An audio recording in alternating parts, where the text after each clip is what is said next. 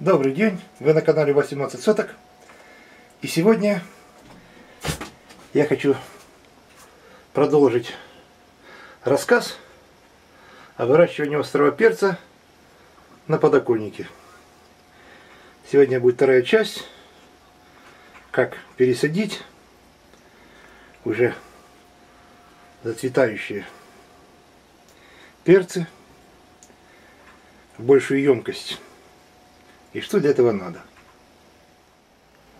Вот так вот растут мои перцы. Небольшое количество. На некоторых сортах уже появились пасынки. Их придется удалять. Здесь вот тоже.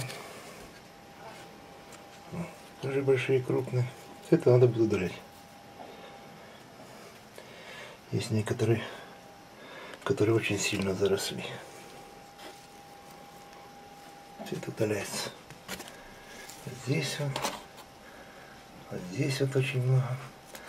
Можно оставить парочку верхних. Все остальное придется удалять. Вот появились цветоносы на некоторых сортах. Вот тоже.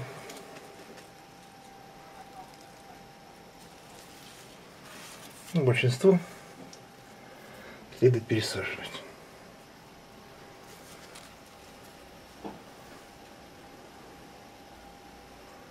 Он тоже скоро будет, уже начинает зацветать.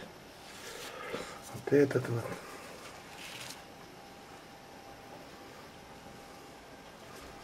Здесь тоже вот появились. И это прошло всего три с половиной недели.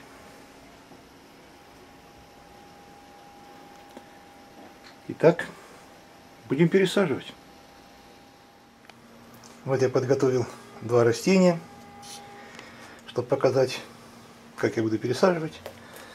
Вот видно уже на них. Появились бутоны. Вот идет у нас коронная развилочка, если кто-то видит. Вот она. И в ней два цветочка. Вот эти вот цветы коронной развилки придется удалить.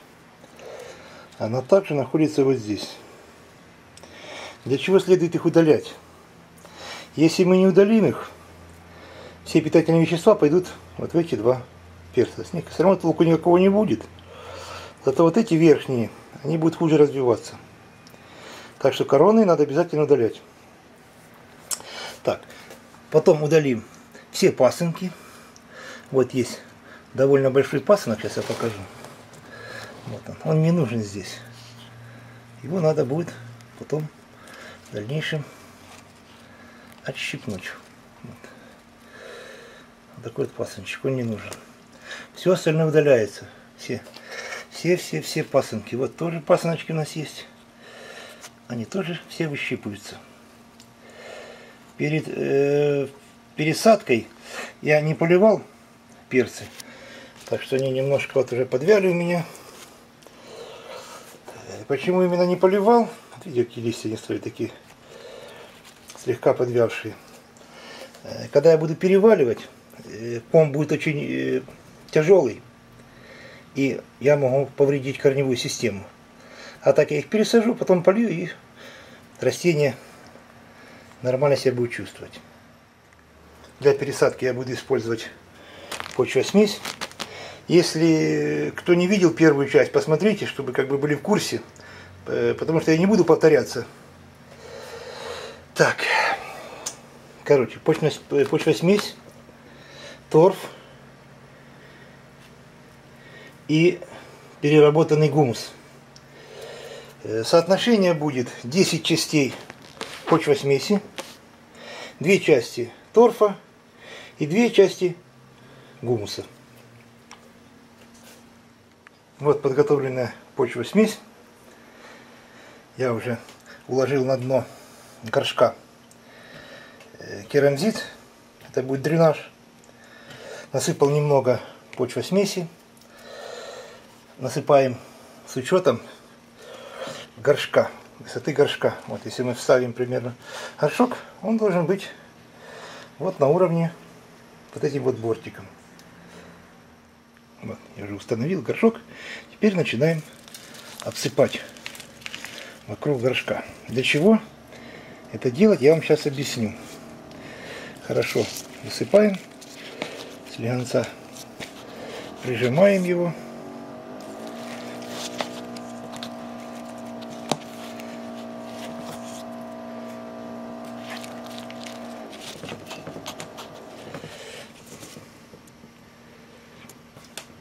Сейчас я немножко засыплю, что неудобно и снимать и засыпать. Сейчас засыплю и покажу. Вот я обсыпал вокруг горшка почвосмесь и слегонца не очень сильно прижал. Для чего? Для того, чтобы мы смогли потом этот горшок аккуратненько вытянуть. Так как рукой одной неудобно вытягивать. Сейчас я попробую взяться за огне. Так, наверное, не получится. Давайте я вытяну, а потом покажу. Вот что у меня получилось. Углубление. Теперь обжимаем горшок слегка и извлекаем отсюда полностью перец вместе с почвой. Вот смотрите, как почти за месяц корни заполнили горшок.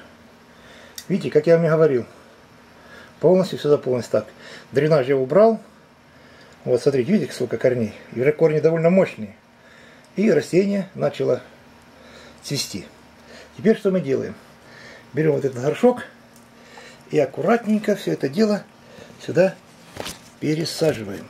Вот так. Раз. Все. Все. Теперь останется только немножко досыпать земли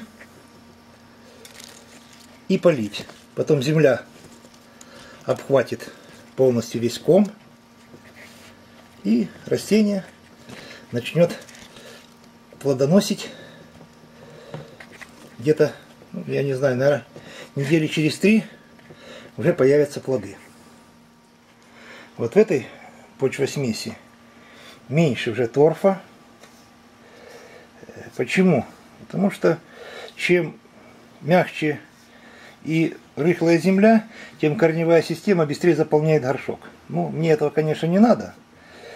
Торфа здесь должно быть немножко. Почему? Потому что здесь всего получается на два пальца по, по краю только вот эта почвосмесь. Э, центральная часть, она более рыхлая, и влага очень хорошо быстро проходит.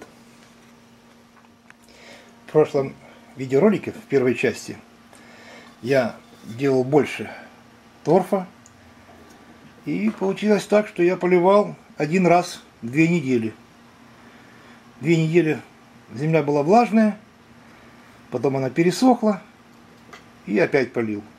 Вот это за месяц я полил вот этот вот перец два раза. Ну, вот немножко чуть-чуть листочки у него подвяли. Почему? Потому что не стоит его поливать перед тем, как вы будете его пересаживать. Почему? Потому что ком очень будет тяжелый, и вы просто порвете корневую систему.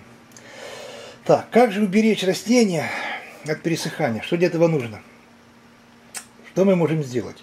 Мы можем засыпать, ну где-то сантиметра, наверное, 3 толщиной торфом, полностью весь верх. Да, он будет хорошо э, держать влагу. Ну, самое лучшее, это, вот, сейчас я вам покажу. Это мох спагмум. Это держит вообще просто супер, великолепно. Вы можете уложить определенным слоем, сам спагнум. Когда вы польете, э, спагнум держит тоже до недели. Неделю, смотря чем толще слой, может и до двух недель держать влагу. Влага не будет испаряться. Либо можем использовать вермикулит. Вот. Он очень, тоже очень, очень хорошо держит влагу. Тоже может до недели. Если вы определенным слоем покроете сверху, просто супер.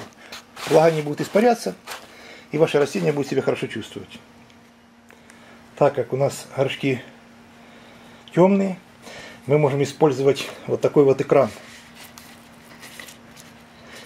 Это проложка с отражателем. Она может быть миллиметровая, двух, трех, четырех. Ну, для горшков, для таких небольших, для литровых, лучше, конечно, использовать 1 мм или 2 миллиметровую. Для таких больших горшков можно использовать даже 3 миллиметровую за счет того, что у нее здесь очень большой бортик. Как бы она как раз станет на, на уровне бортика. Вот, она снимается. Как изготовить такой экран, я расскажу вам в следующем видео. Специально сниму полностью, как сделать э, шаблон, чтобы не морочить себе голову. Делается очень быстро, и можно сделать один шаблон и на все виды горшков. Сколько вам надо будет горшков, столько вы сделать можете сделать шаблонов. Поливать перец надо будет не очень часто. Э, главное, чтобы земля не была мокрой, она должна быть влажной. Если земля будет мокрая, перец может вымокнуть, и корневая система может сгнить. Что касается подкормок, э, подкармливать придется один раз в неделю. Ну, желательно, конечно, делать легкую подкормку. Я в основном делаю, говорю, я не, не пользуюсь э, никакими химикатами. Я использую только либо куриный помет, гумус, вытяжку гумуса, либо можете использовать гумат. Тоже очень хорошая штука. Тоже хорошо помогает. И лучше делать, к примеру, раствор 50 ну, на 50. Если, к примеру, там положено вам э, стакан на литр воды разводить, уже готового раствора, сделайте лучше полстакана. Но польете чаще. Не надо сильно заливать его, не надо перекармливать. Э, вы можете не столько сделать хорошего, сколько сделать плохого. Растение может быть просто ну, из, из, излишки. Если вы будете химией кормить, могут быть излишки, и э, начнут осыпаться листья, растение начнет болеть и может прекратить полностью рост свой. По окончанию пересадки перцев, э, все перцы, если, например, у вас их несколько сортов, надо отделить друг от друга – полностью изолировать. И когда появятся цветы, как буду делать я, я буду их опылять вручную. Все зависит от сорта. Есть сорта, которые дают, к примеру, до 400 перчин. Эти перцы мелкие, так что можно и 400 штук оставить. Есть перцы, у которых очень крупные плоды, там я ставлю где-то 15, 20, ну, до 30 плодов. Все остальные цветы я буду полностью удалять. Как только сформируется полностью завязи, эти растения я переставлю вместе со всеми. И как только будут появляться цветочки, все эти цветы будут удаляться. Так что растения не переопылятся. Они будут уже стоять уже сформированными плодами. Вот этот сорт называется Фуджалоки. Высота этого растения сейчас 45 сантиметров. Так, в открытом грунте он достигает метр двадцать. Если хорошие условия, он может достигать до полутора метров. Так, следует помнить, что первый год он у вас будет вот таким вот, ну пускай там еще на 5 сантиметров может вырасти, э, плюс за счет того, что у него начнет э, нарастать боковые боковые завязи. Вот видите, оно, вот развилочка. И вот эта развилка начнет увеличиваться в размере. Она может достигать где-то до 30-40 до 40 сантиметров. Это у вас будет такой пышный куст. И, как вы видите, формировать их не нужно. Я уже об этом говорил в первой части. Почему? Потому что куст сформируется сам.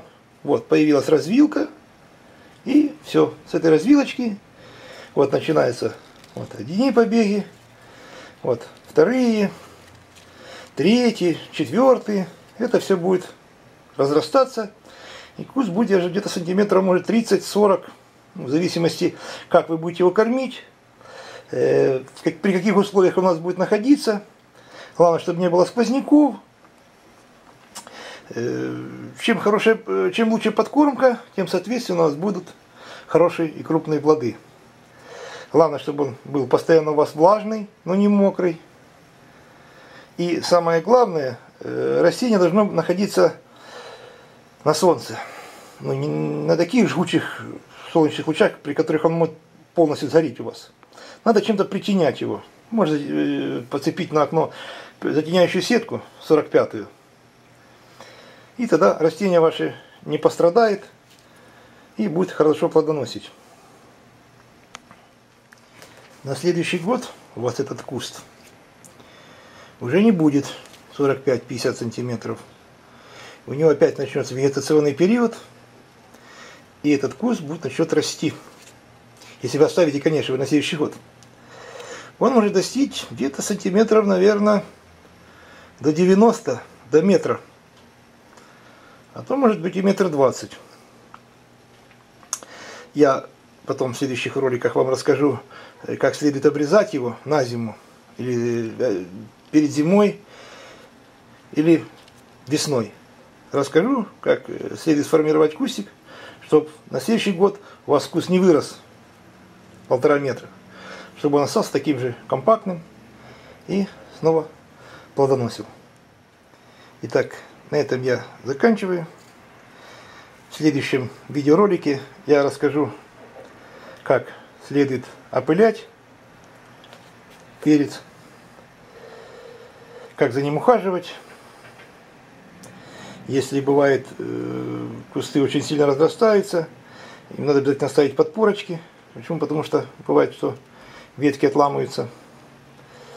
Растения надо сильно кучно ставить, чтобы попадал везде свет.